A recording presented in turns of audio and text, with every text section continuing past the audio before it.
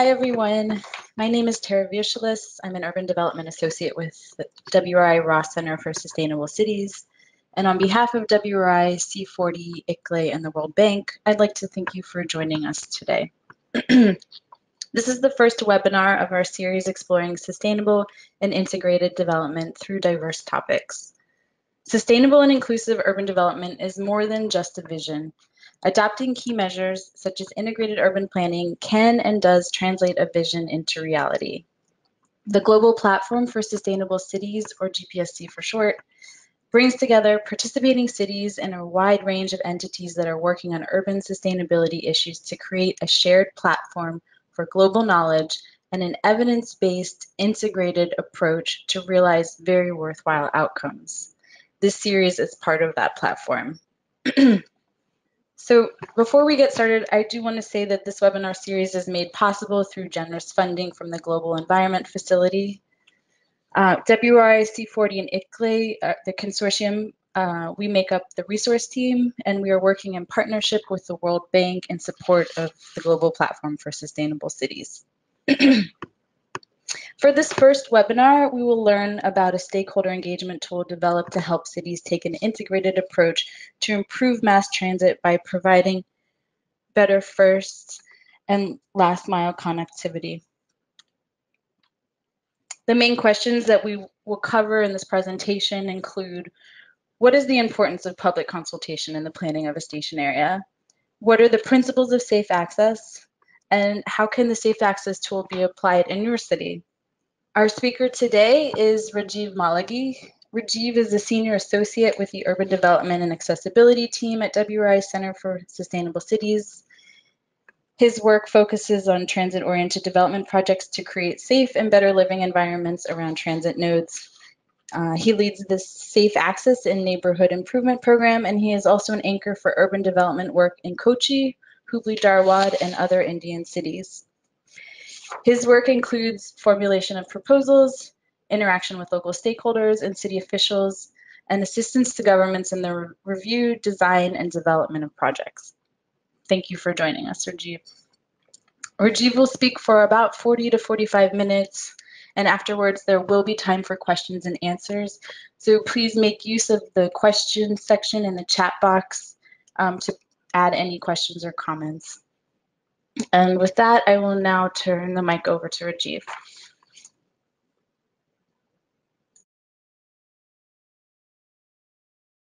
Thanks for that, Tara, and thanks for the introduction. And uh, hello, everyone. Um, it could be good morning, good afternoon, good evening to people around the world. And um, thanks a lot for joining this webinar. and hopefully this would be of some use to your work or your studies or whatever it may be.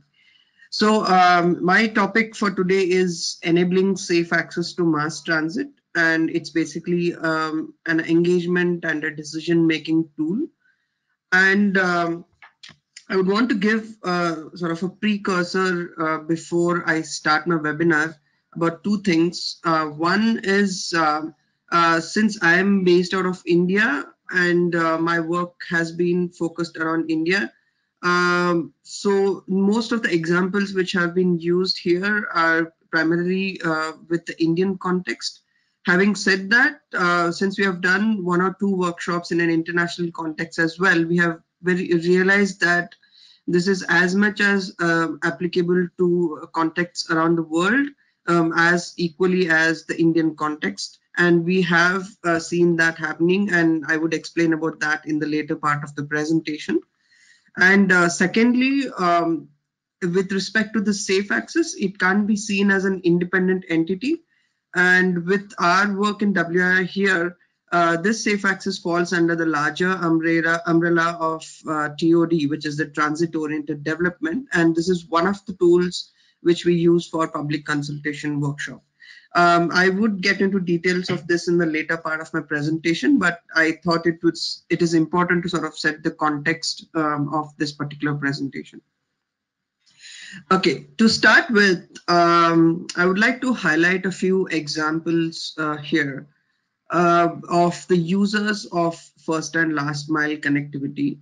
around mass transit stations. So let's say, uh, let's take an example of this person called Suresh in Bangalore, where he says that uh, I prefer riding 40 minutes to office than taking the metro for 15 minutes.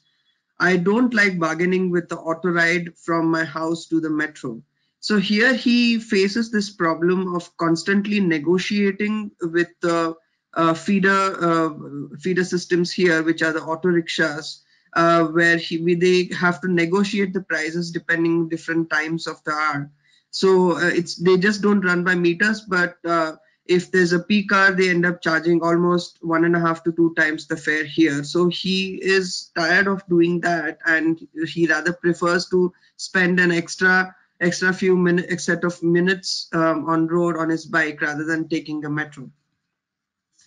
Taking a different case of this lady called Leela Ben in Ahmedabad, which is in the city in the western part of India, uh, where she says as much as love taking BRT bus, which is the bus rapid transit system uh, here in Ahmedabad. Um, I struggle to reach home every day as I have to walk through dark, isolated roads in the night. So as secure she feels in the bus, uh, which is a public entity here, which has really good, done really well in terms of pro providing this public access to the city, it equally feels unsafe for these women to walk to their houses since the streets end up becoming dark and isolated and they don't feel secure to walk along these streets. Shifting from um, a commuter's perspective to a, a, a, service provider's perspective, where uh, this person called Babulal in Delhi, he basically uses this uh, cycle rickshaw, which is basically a non-motorized rickshaw. And he has been cycling for the last 20 to 30 years now.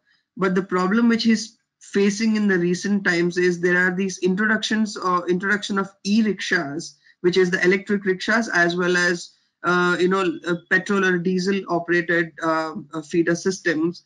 And he has to constantly vary his prices to come here to transport people from metro to residences or workplaces because you know the because of the fares of these e-rickshaws and other autos which are present there.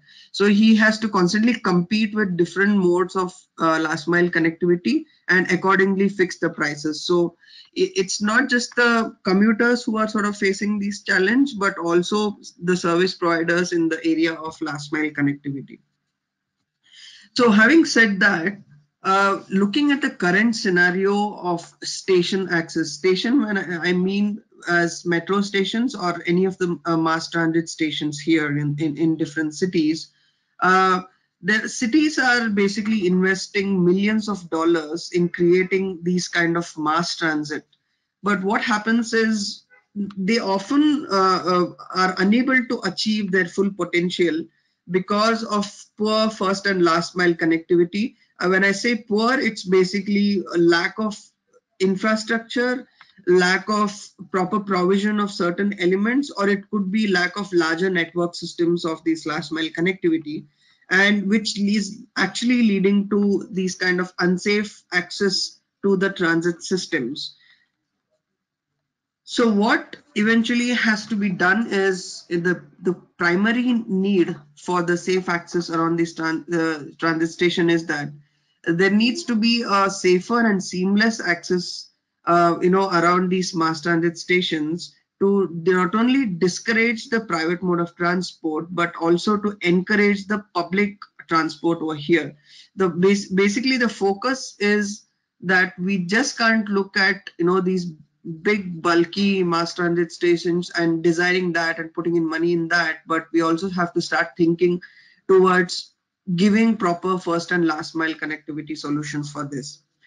Secondly, this just can't be an infrastructural approach where we just say that uh, uh, we have done enough uh, number of footpaths or cycle tracks or any mode of last mile connectivity, but it also has to be an experiential approach, uh, uh which ha actually has to add life uh, to the whole area there. With that, we get into the safe access to mass transit, where um, I get into my flow of presentation here where uh, the presentation is, is going to be in four parts. the first part is basically talking about safe access in the con context of transit oriented development, like I mentioned earlier, where we talk about what is transit oriented development and what is the livable station area and how WRI has been approaching the idea of transit uh, transit transit oriented development here. I'm sorry. Uh, and finally, how uh, the safe access tool uh, fits in as a public engagement tool. Uh, the second part is going to talk about the idea of safe access itself and the different principles which we have developed over time based on our research um, in, across different uh, fields. And finally, what is the need for this kind of um, tool? The third part is going to talk about the reality check, where we are trying to say that this tool was not just designed as a research tool, but it was actually designed uh, to be applicable on a real case scenario and uh, applicable to real conditions on ground, uh, be it um, you know different demonstration sites or it could be even you know training different professionals. I'll, I'll definitely get in detail of that later. And finally, concluding the, the overall presentation based on that. So, okay, coming to the first part where we are talking about the idea of transit-oriented development, uh, what is defined here in the Indian, Indian context is it's basically uh, involves uh, creating concentrated nodes of moderate to high density developments, supporting a balanced mix of land use around transit stations. Um, one point I want to mention here is uh, there's equally a need to sort of uh, contextualize this transit oriented development. So when we talk about moderate to high density developments, it, we are not talking just about increasing the amount of built form uh, and making it concentrated like it is always uh, seen in a global context. Let's say if you talk about the context of India or China or any parts of Asia, uh, basically we have a lot of densities already existing around uh, transit here. So it could be also talking about moderate to high density of people primarily rather than just being the development. So as long as we achieve different kinds of uh, densities required to support or use the mass transit, we have achieved our goal. So it need not be a development bit always.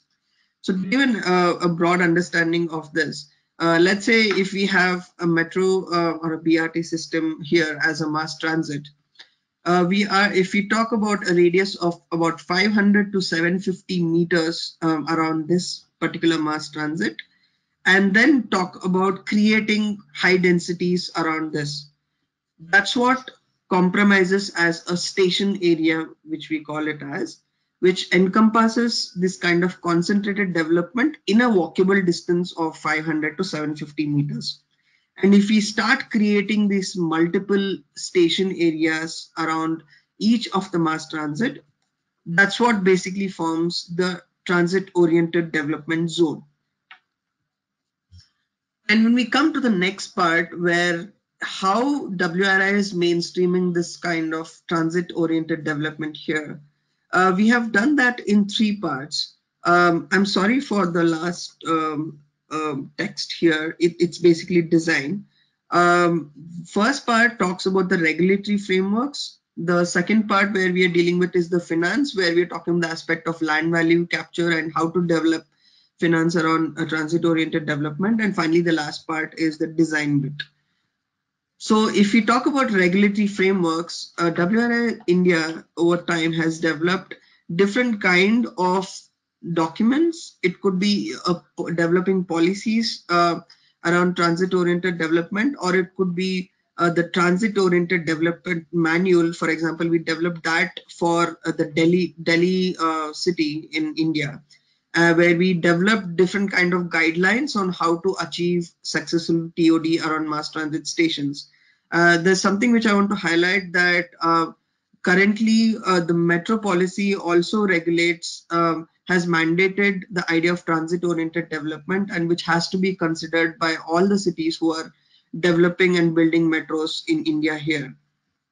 And I assume that most of the cities um, in other contexts around the world are also focusing this. So we thought it was quite important to sort of address this aspect um, of creating these regulatory frameworks. The second part is the financing bit. Like I mentioned earlier, we are doing a series of workshops and uh, sort of discussions uh, and research practices and studies around uh, the financing bit here where we are focusing the aspect of investments as well as the uh, land value captures and creating different tools of how to do TOD finance.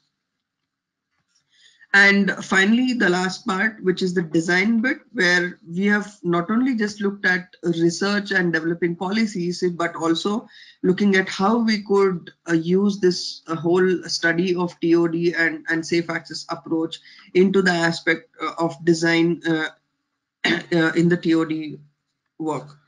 So let's say the first example, this was done uh, where we created the whole sector of transit oriented development we did this whole sectoral planning um, under the case of the city called naya raipur and it was a greenfield development approach. Uh, the greenfield when i mention it means uh, that uh, we taken we have taken a, an open area or an unplanned area outside the city context and we did this whole development um, of uh, based on the current transit uh, system which exists there and how to rework based on the existing resources we have over there. For example, the blue patch you see was the um, existing water body and then and and the central line you see was the mass transit line. So how do we look at concentrating developments with uh, you know uh, respecting the existing resources and the landscape which is available over there.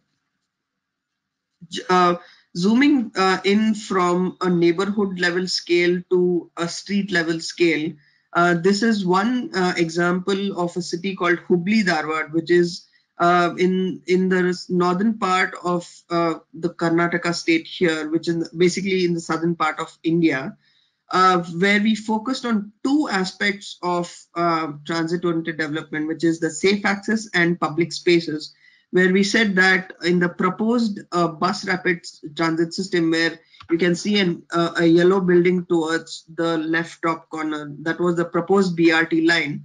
Uh, what we basically did was created a series of plaza as well as streets and public developed streets and public spaces um, in the range of uh, 500 meters to say that uh, as much as important to design the BRT here, it is equally important to design streets and approach uh, to this particular BRT. And this was taken up uh, as a demonstration case um, when they were when the city was designing the BRT. And currently, uh, it has reached the tendering phase, and it, it's very soon very soon go is going to see uh, the light implementation here. So, having said that, we we have it is very becomes very critical to approach transit oriented development as a people centric approach. Uh, when i see people centric approach it means to say that we just can't look at this whole process as a planning approach where we have these experts and uh, different implementing agencies and the government sits together and sort of plans and designs this whole transit oriented development. But it equally needs to involve people of the city as well as the neighborhoods uh, to in the in the whole planning process and take their opinions and suggestions and and see what best they can do uh, which actually leads to something more contextual and applicable to people rather than just becoming a mere um, a mere plan which is more infrastructural in nature like i mentioned earlier. So uh, to achieve that uh, we have designed the safe access tool uh, where it is an effective engagement tool and it actually helps to formalize and organize strategies uh, for the station area. And finally it prioritizes you know all the stakeholders of the area. And this came through our research and understanding of what people needed um, in these kind of station areas or neighborhoods. So coming to the tool itself uh, where we talk about this being a public engagement tool firstly, it, it, it's important to understand what is safe access. Uh, safe access is basically uh, creating safe access conditions for users of the station area. Uh, when I say safe access conditions, it's basically to prioritize access of pedestrian, cycling, and public transport. It's as simple as to say that if I have a given metro station or any kind of transit station in my city, and if I'm staying in a range of 500 meters to one kilometer um, around this transit station, how am I going to reach this? And that's precisely what uh, Safe Access does. So if you see this as an example uh, where uh, if you the central blue dot is a mass transit and the outer line uh, is drawn in a radius of about 500 meters to 750 meters, where we call this particular area as the station area. So the station area is basically a place of connectivity where different modes of transportation come together. Uh, and it not only just becomes a place where these modes meet, but it also becomes a place where people could work, live, shop, and play and all of these activities can happen together. So it basically becomes a neighborhood by itself and not just an aspect of last mile or the first mile. And coming down to the five principles, so the whole safe access approach and uh, the manual, the safe access manual, which we have developed, uh, it's it's a, a, big research document of about 200 pages, which we, it started with that, where uh, it was developed on the basis of these uh, five principles. Uh, if, if I start from the left side where uh, the blue one, it, it is basically the pedestrian and cycling priority to start with.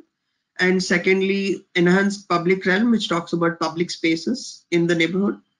And then it is seamless integration of feeder network networks and infrastructure. It's basically the feeder systems and the last mile connectivity.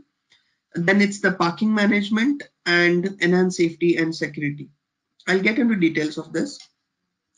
Uh, the first uh, principle, which talks about pedestrian and cycling priority, uh, it focuses on creating safe and comfortable pedestrian and cycling infrastructure and services.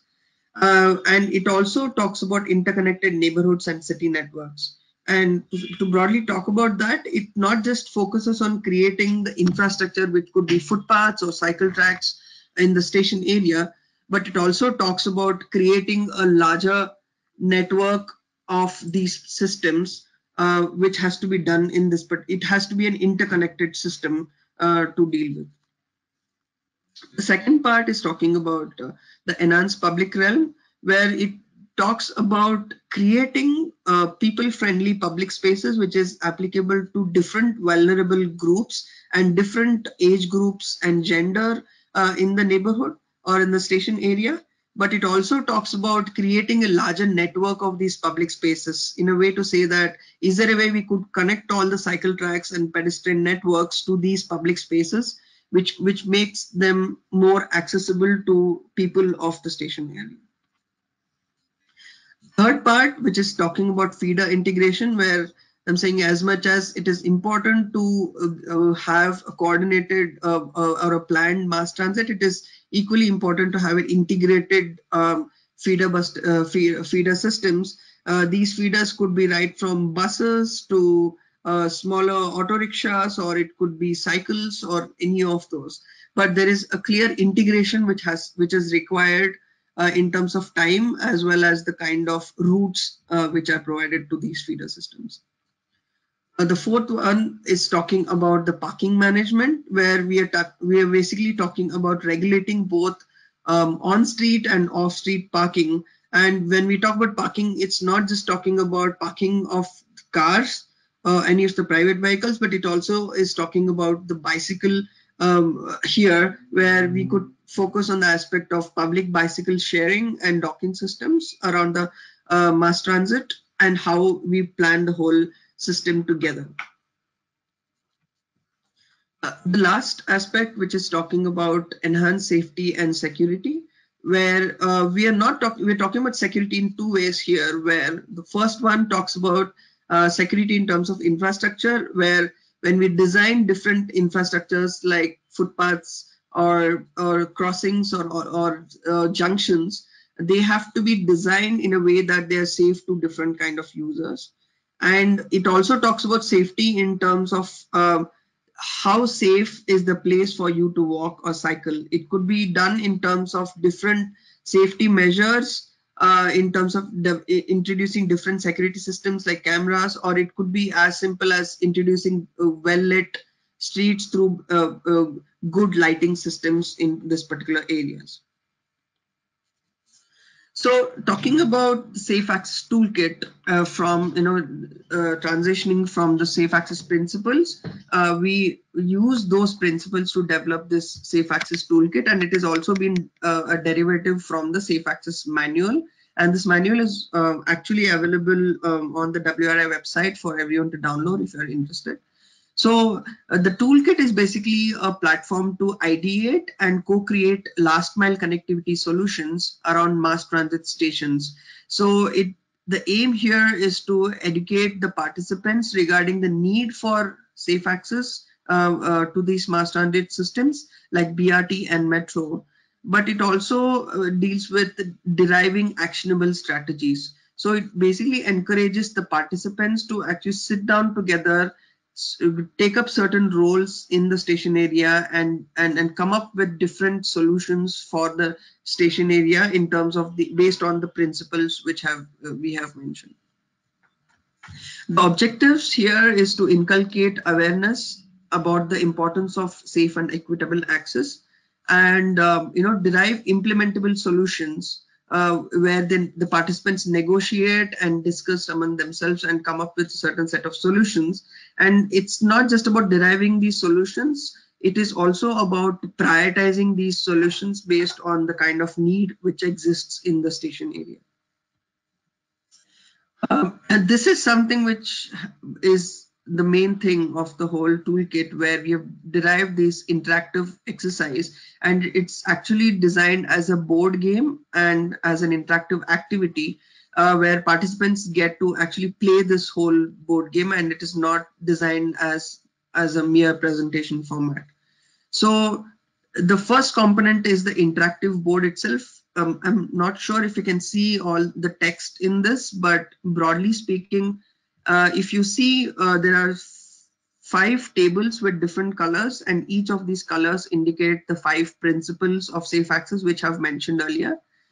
And uh, towards the right side of the board, you have the station area explained and different uh, uh, radii which exists around the station area and also a few set of rules on how to play this uh, particular activity. There is also the aspect of role play here, which becomes an important entity where each of the participant on the table in, when, when it's split into groups is given a different role play, be it uh, on one extreme, it is the government, government authority, women on a wheelchair, a teenager on a cycle, or it could be a grandfather, which represents different kinds of citizen uh, and the government roles which exist in the station area or the neighborhood. But it is also on the other side, these car owners and private developers which represent the other extreme of the community where you know they are more focused towards the profit based approach. So the participants are given this role and they are asked to take uh, they they have each of the roles have certain uh, powers as well as restrictions on how to how they can use this particular thing. And so basically these participants have to wear a hat of this particular role and function or, or represent this particular role when they're taking certain decisions for the station area. And uh, like I explained in each of the table, uh, if I take one example of the table, there are two sets of strategies uh, which are mentioned um, in each of these principles. Whereas step one, if you see the orange and the blue dots, uh, there are each of these dots are placed under different headings. Let's say pri government private and the people. So each individual picks uh, one out of the first three strategies and one out of the second three strategies uh, and ticks their particular choices individually uh, in the first stage of the activity. In the second stage of the activity where this becomes an interesting part all the role play, all the players uh, of this particular um, uh, decision making, uh, they discuss together and they have to come to a consolidated decision to choose uh, again again choose one option among the first three and one option among the second three here. And this has to happen as a debate between the group where the government becomes the spokesperson and listens to all the stakeholders uh, in the group and comes with the final choice as a final collaborative choice what is important here is, as a key takeaway here is, uh, it has led to uh, different kinds of outcomes. It could be, you know, deriving and prioritizing street and public uh, space usage, or it could be designing interventions on ground, or it could be uh, leading to informing policies or even building capacities and knowledge sharing. So the tool has actually been used across different platforms, leading to different kinds of outcomes. Uh, but the game itself um, actually helps to discuss and collaborate and negotiate these decision making process of safe access uh, as a as a principle. So coming down to the fact when we talk about reality check here, uh, who can use this particular tool? Uh, it could be used uh, if you're looking at doing certain on-ground implementation as demonstration projects. Uh, the residents use this. They can be a this particular exercise. It could be representative association like residents welfare associations. It could be institutional representatives like schools, colleges, hospitals, etc. Uh, and then it could be traffic and transportation transportation representatives like the traffic police and the wardens and lastly the elected representatives and important decision makers of the area uh, as a gist it is the different uh, stakeholders of that particular station area which is chosen and someone who represents that station area and someone who can give uh, key uh, key inputs in terms of um, designing the station area. The second part is where we're talking about the capacity building, where this tool can also be used to train different urban experts across cities um, around the world, where it could be the urban and transport experts uh, uh, or the officials of the city, or it could be institutions, it could be the government officials, or it could be the implementing agency who are actually doing uh, these kind of projects on ground.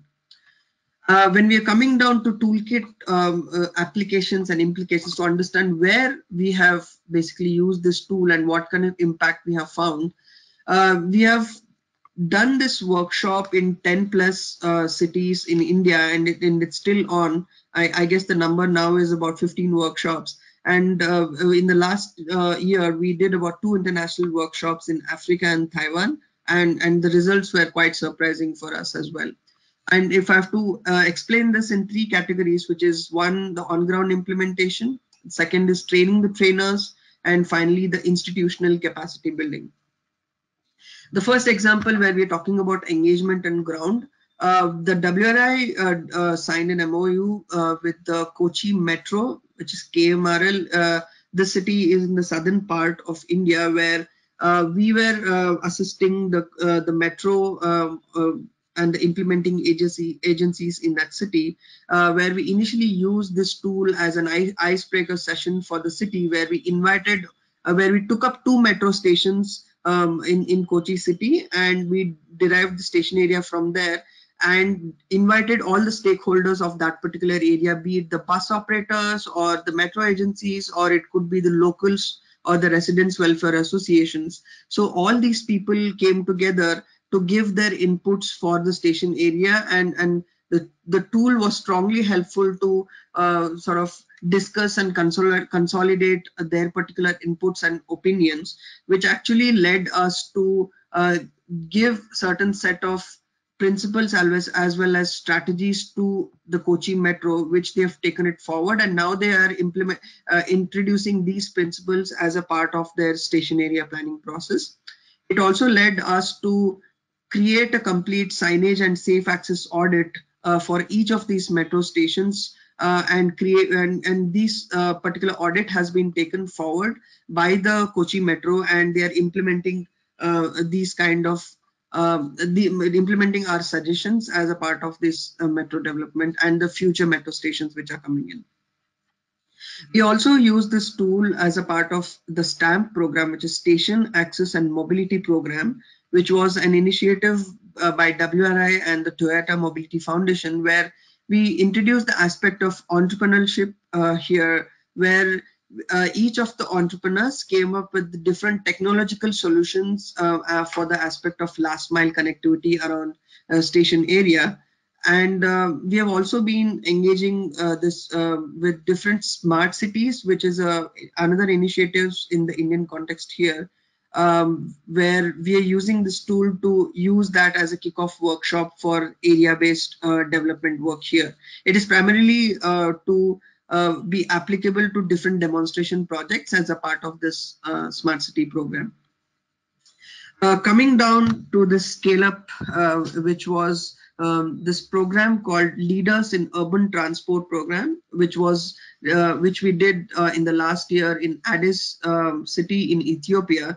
Uh, we didn't do any change uh, in the kind of strategies and or the principles or the role play in the activity and just clearly uh, use the same interactive board in the African context to and it, to our surprise we came to realize that even Africa also faces a similar kind of situation or similar kind of issues with safe access and they found this tool and the workshop to be extremely relevant to their context and and they not only um, accepted this as an important tool for Addis city which is basically a tier one city uh, in Ethiopia, but they said this could be applicable for the tier two cities, which are basically secondary cities in the country, and, and, and it could be used for the whole aspect of station area planning in different cities in African context as well. And uh, sorry, to another point to mention here, where the participants here were urban and transport officials um, across different cities in the whole of Ethiopia, uh, um, who were working in different governments over there. And shifting from urban officials, uh, this was a workshop done as a part of TUMI Masterclass, which is Transformative Urban Mobility Initiative, uh, where we WRI collaborated with ICLEI GIZ uh, as well as Wuppertal Institute and organized this workshop in, in Taiwan where uh, there were representatives primarily from uh, Southeast Asia, but also um, ac uh, across different other cities or countries like Philippines, Africa, and other uh, but other geographies over there. Uh, what we also came soon realized was as much as Africa, it this whole set of principles as well as the tool and the idea of the tool is equally applicable um, as a part of Southeast uh, Asian context as well. They equally found that you know these kind of scenarios exist in these situations and hence the tool becomes important so that was a really great learning for us that um, it's not just india which is facing these kind of situations but also um, other cities as well and talking about uh, building capacities within the country this was done as a part of Amrut program, which Amrut is basically a program uh, which is uh, developed as a part from uh, Ministry of Urban Development here, which talks about um, training uh, different urban uh, and transport and uh, officials in the country. And we have been doing this for about six plus cities already and it, it has seen a lot of success. And uh, we have trained about 150 plus urban and transport officials in the country through uh, through this program Okay, so with, to end uh, my presentation, I wanted to summarize of what uh, summarize the part we have done. Uh, the, we did three parts. The first part was understanding transit-oriented development and how uh, WRI has been uh, mainstreaming this TOD with different approaches. The three parts being the regulatory frameworks, the finance, as well as the design aspect. The second part talked about uh, the safe access to mass transit, where we try to understand what is safe access, and then the five principles of safe access, and finally, what was the need uh, for this particular tool. The last part uh, was a reality check, where we try to understand what are what were the different applications and implications um, of this um, safe access tool. So in conclusion, I would like to say that can we start relooking into the idea of mass transits, not only as individual infrastructural components, but more as livable spines of the city, where can we create uh, these as important activity generators and activity nodes of the city and not just becoming mere infrastructural entities. And can we look at safe access around mass transit as a people uh, oriented and a collaborative approach? You know, in a way to say what I repeated earlier was, uh, can we see uh, this whole approach not just as an infrastructure where we just do a design and planning process and just get an approval for the from the government and just go ahead and implement that? Uh, instead of doing that, can we rather include people as a part of this whole decision making and, and have a cohesive um, uh, design for the station areas. Um, this is my last slide where um, I would like to say that uh, this whole toolkit has been uploaded on the CityFix Learn, and it's something which you could download and see the whole process. And going forward, now that we have done enough workshop, we are trying to look for collaborating with different agencies and governments around the world. So if you think it is suitable for you, we would be more than happy to uh, collaborate as a part of this whole exercise. So let's collaborate and work together and hopefully uh, this tool uh, would be useful for you um, in be it your academic purpose or it could be your professional purpose. Um, and we really hope uh, to hear something from you in case there any kind of collaboration required. And with that, I would like to end my um, talk and thank you. And you could write to me on this particular email ID. Uh, Tara, over to you. Thanks very much, Rajiv. That was that was a great presentation, a lot of information, and I know that you're just scratching the surface. Um, so thanks for keeping it within our timeline.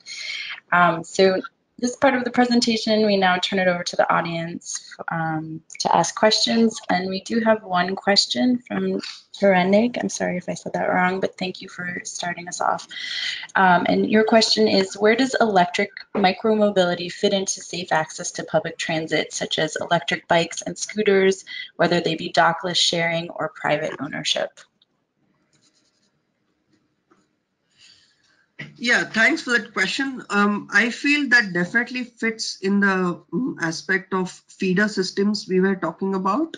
So, um, I, I, like Tara mentioned, this is an extremely short time to get into details of each of those, but uh, um, the safe access definitely focuses on the aspect of last mile connectivity and uh, the stamp program which i mentioned about which was station uh, access and mobility program that's something which we are precisely trying to do where we are trying to engage with different entrepreneurs and startups in the city to come up with these kind of uh, new innovations and technical technological solutions in order to achieve this aspect of last mile connectivity.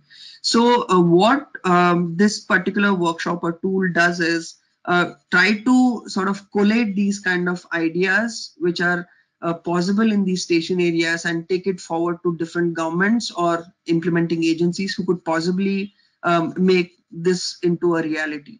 So the, to answer to your question, it fits into the idea of feeder system and integrating feeder systems um, as a part of uh, five principles of safe access. Okay, right now, that's the only question that we have. I have some of my own, um, but I really encourage everyone that's on the line to ask any question that arose. Um, don't be shy. We're here to have a, a, bit of a conversation after the presentation. So, um, you know, don't, don't, please feel free to write in your comments. Um, so I, I, have many, many questions, Rajiv, but I will um, keep to just a couple.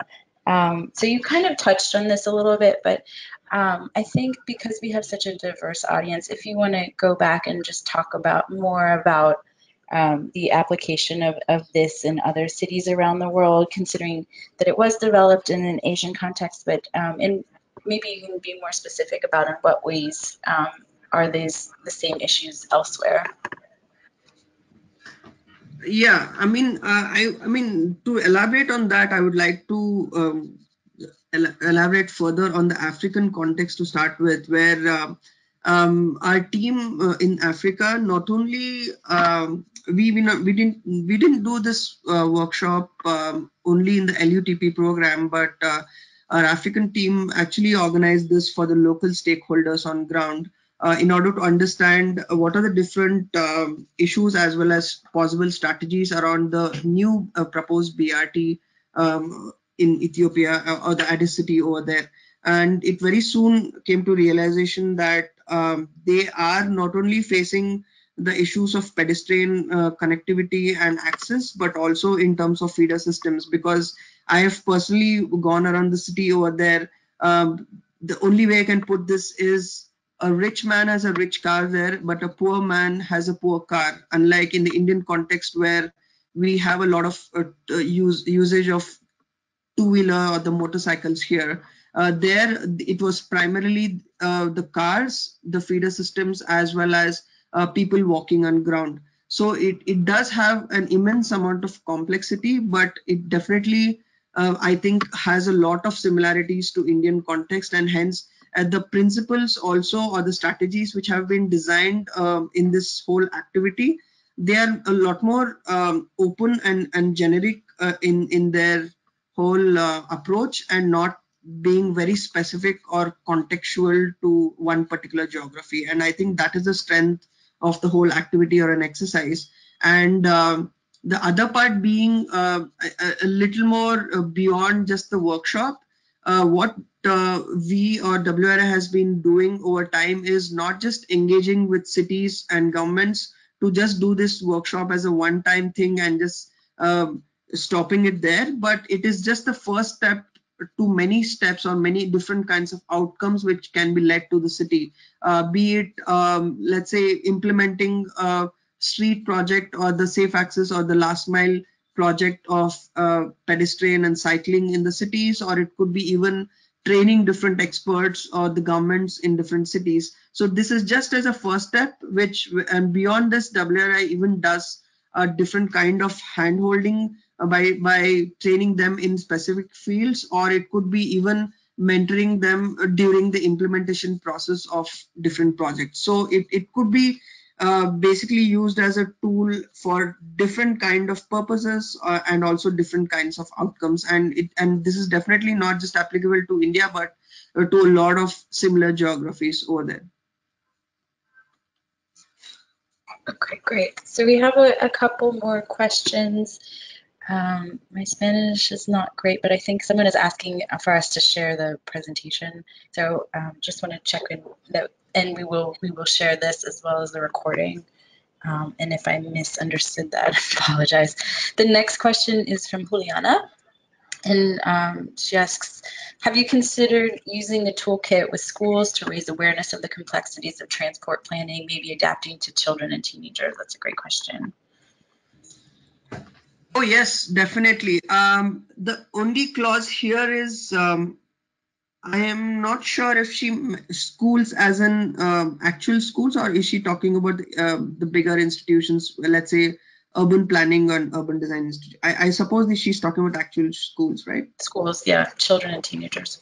Yeah, so I mean, uh, that's definitely um, um, in our whole planning process right now. It is in the line uh, of getting it done, but um, I would say uh, that right now we have not tried uh, in the schools per se, but we have definitely tried this in um, other kind of academic institutions like universities where uh, it, it has focused set of students in the field of urban design and urban planning and transport planning.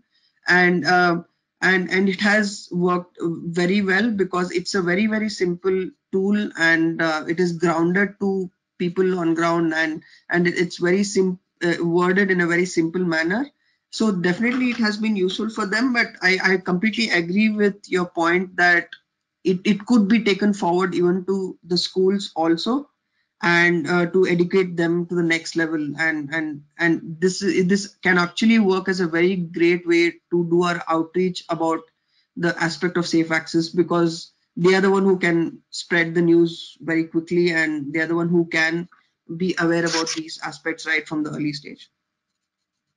Yeah, I think that's a, a great point. We have in the US safe routes to school, and this would be a great tool to use with the children as well as their parents and teachers and the, and the general community. Um, okay, so our next question is from Camilo, and he says, Thank you a lot for this interesting presentation. I want to ask at what project stage it would be recommended to apply the SAM tool would it be possible to apply the tool once the mass transit project is built? Yes, I, I that's yeah, I mean that's completely possible because uh, given um, the scenario of development across different cities, we definitely can't say that you know there can be a very uh, clean fantasy world where the whole place is empty and we're going to start from scratch.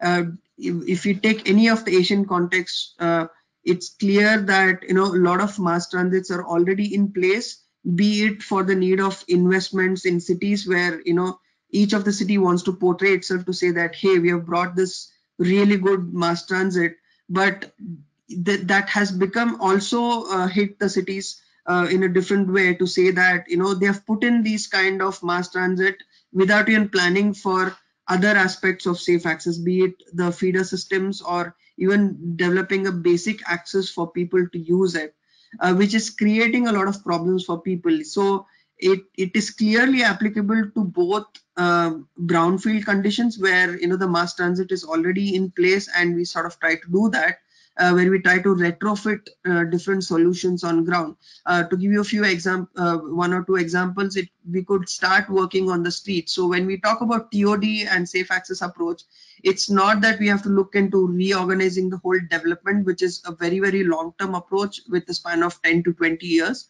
It could just start with simple steps of even just picking streets and public spaces and reworking on that where we already have the existing space available and how do we uh, put in new elements of streets, be it footpaths or cycle tracks, or it could be how do we rework on the existing public spaces uh, where they still don't have the basic amenities and, and, and we make them more universally accessible. So it's clearly applicable both for brownfield conditions as well as a, a greenfield condition.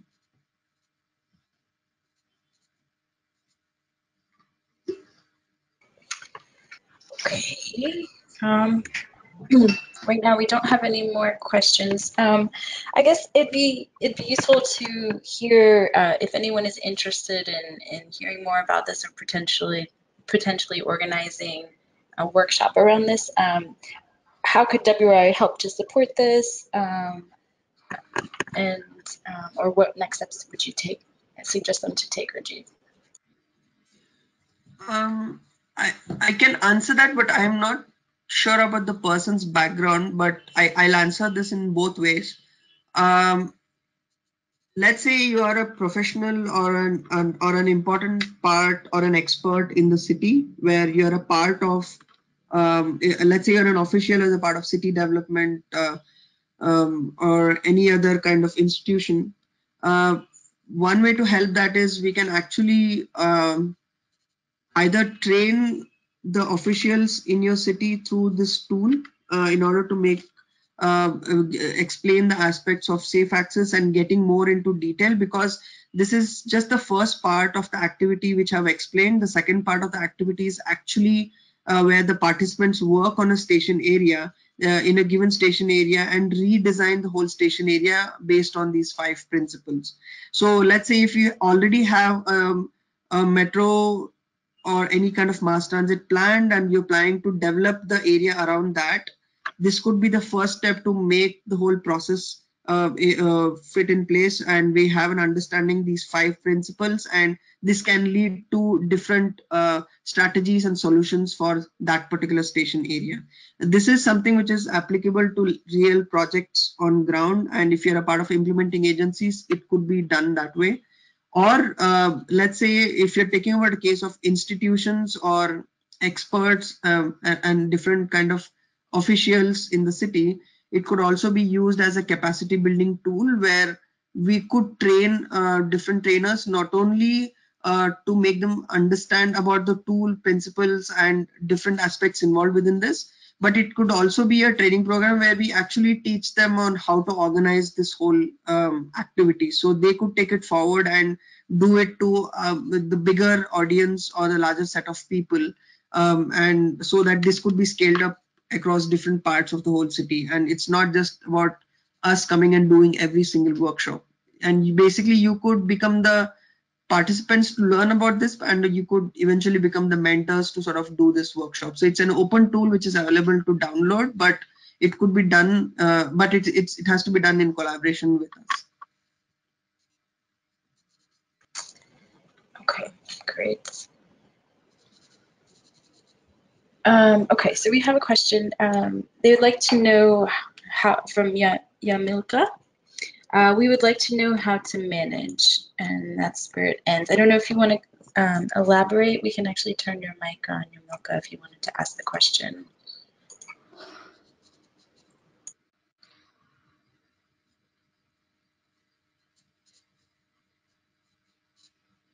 Um, yeah, even I was not too clear about that.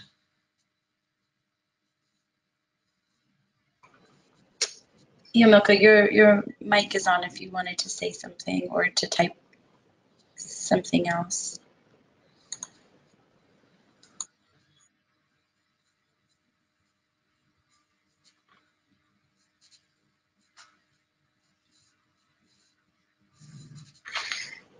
Okay, well, it, um, if we don't have any other questions, I think we should be cognizant of everyone's time and, and wrap this up. Um, I'd like to thank everyone for joining us for today's session.